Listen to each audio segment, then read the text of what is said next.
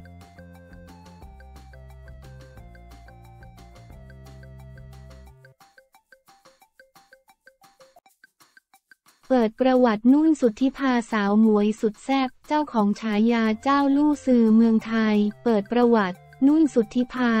สาวหมวยสุดแซ่บน่ารักอารมณ์ดี เครื่องหน้าปังเหมือนนางเอกหนังจีนเจ้าของฉายา เจ้าลู่ซือเมืองไทย เรียกว่าเป็นสาวสวยครบเครื่องอีกหนึ่งคนในวงการบันเทิง ทั้งสวยน่ารักตลก และฝีไม้ลายมือเรื่องความสามารถการแสดงก็ไม่แพ้ใครอย่างสาว นุ่นสุทธิภา เจ้าของฉายา เจ้าลู่ซือ เมืองไทย นุ่นสุทธิภา คงแนวดี ปัจจุบันอายุ 28 ปี เกิดเมื่อวันที่ 13 เมษายน พศ 2538 เป็นคนจังหวัดชนบุรี จบการศึกษาจากสถาบันการบินพลเรือน มีน้องชายหนึ่งคนซึ่งก็โลดแล่นในวงการบันเทิงเช่นกัน คือฟงบวรคงแนวดี ภาพประกอบจากอินสตาแกรมแอดนูนซุทธิฟ้าโดยเส้นทางในวงการบันเทิงของเธอนั้น เรียกได้ว่าฉายแววความสวยตั้งแต่เป็นสาวน้อย เธอเริ่มเป็นที่รู้จักจากการได้เข้าร่วม YouTube f r e s h i Idol YouTube f r e s h i Idol ในปี 2554 เป็นรุ่นที่ 5 เพราะความน่ารักสดใสเข้าตากรรมการก็ทำให้เธอได้รับ รางวัล Miss Popular Vote Award นั่นเอง หลังจากการประกวดก็ทำให้เธอเข้ามามีบทบาทในวงการบันเทิงมากขึ้น โดยเข้าร่วมเป็นนักแสดงภายใต้สังกัด GMMTV จนถึงปี 2564 ภาพประกอบซึ่งเธอก็มีผลงานการแสดงมากมาย เช่น Rose in the House You Prince Series อาตีของผม Endless Love รักหมดใจรวมไปถึงแสดง MV เพลง เช่น เพลงค้างใจของศิลปินเต้นนรารักในปี 2565 และถ่ายแบบอีกด้วยภาพประกอบ ปัจจุบันสาวนุ่นได้ผันตัวมาเป็นนักแสดงและนางแบบอิสระ รวมไปถึงเริ่มต้นเข้าสู่เส้นทางสายยูทูบเบอร์มีช่องบัญชีของเธอเองชื่อ นูนซุทธิฟ้า มีผู้ติดตามกว่าแสนคน โดยเนื้อหาของช่องส่วนใหญ่ก็จะนำเสนอชีวิตประจำวันของเธอ ไลฟ์สไตล์ท่องเที่ยว รวมไปถึงเชิญชวนเพื่อนในวงการที่สนิทมาออกรายการด้วย ทั้งหนุ่มนิกกี้นชัดแจ็คแฟนฉันนั่นเอง ภาพประกอบจากอินสตาแกรมแอดนูนซุทธิฟ้า เรียกได้ว่าเป็นสาวหมวยที่ทั้งสวยอารมณ์ดี สายฮาก็ได้สายสวยก็ปังทั้งยังมากความสามารถการันตีด้วยรางวัลและผลงานมากมายสำหรับใครที่ชื่นชอบสาวนุ่นก็สามารถติดตามสนับสนุนผลงานของเธอได้ทางอินสตาแกรมแอดนูนซุทธิฟ้า Facebook นูนซุทธิฟ้า YouTube แอดนูนสุทธิฟ้า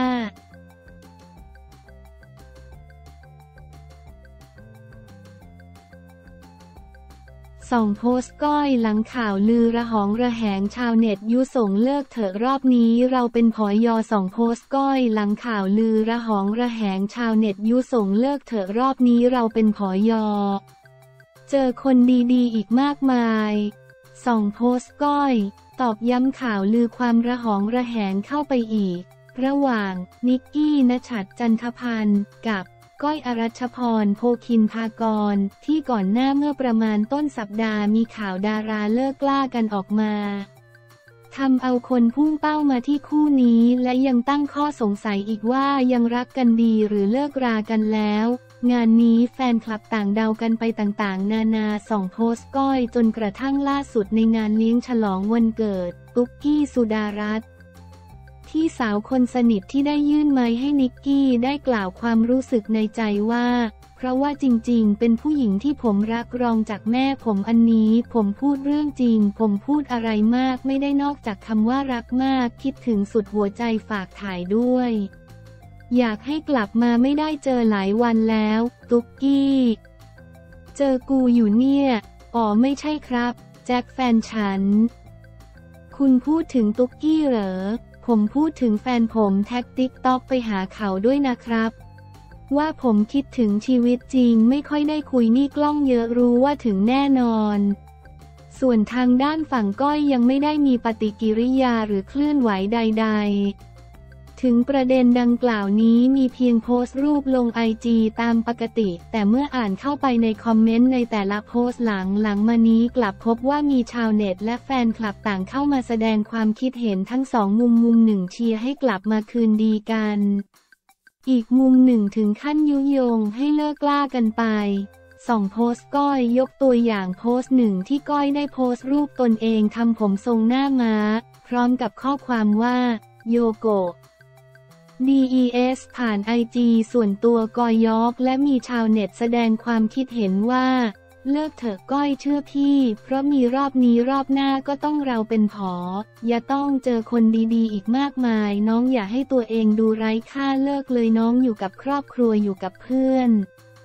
หรือถามใจตัวเองนะว่าตลอดชีวิตกับผู้ชายแบบ นั้นไหวไหมมีความสุขจริงไหมให้เกียรติเราไหมเห็นหัวเราไหม ยิ่งคลิปกับเพื่อนที่ชื่อนอเราแค่มองในฐานะผู้หญิงเรายังไม่ชอบ การตัดสินใจอยู่ที่ก้อยแล้วนะเรา FC เคารพในการตัดสินใจเป็นกำลังใจให้นะสองโพสต์ก้อยบางส่วนก็ชื่นชมว่า ก้อยสวยเก่งน่ารักสดใสกตัญญูอยากเห็นก้อยมีความสุขในทุกๆวัน ทางไหนที่มีความสุข เลือกทางนั้นนะ จุลภาค พักผ่อนบ้างนะ แต่เห็นว่านายล่าคอยดูแลแม่ก้อยอยู่ ก็อุ่นใจน่ารักเบอฉากหลังอย่างแรงคล้ายๆเป็นแถวบ้านนายน้อยสองโพสก้อยและยกโทษให้เขาเถอะนะน้องที่คิดว่านิกกี้คงจะสำนึกแล้ว ที่อยากเห็นน้องกลับมาดีกัน FC ขาหื่น รุ่นใหญ่ เป็นต้น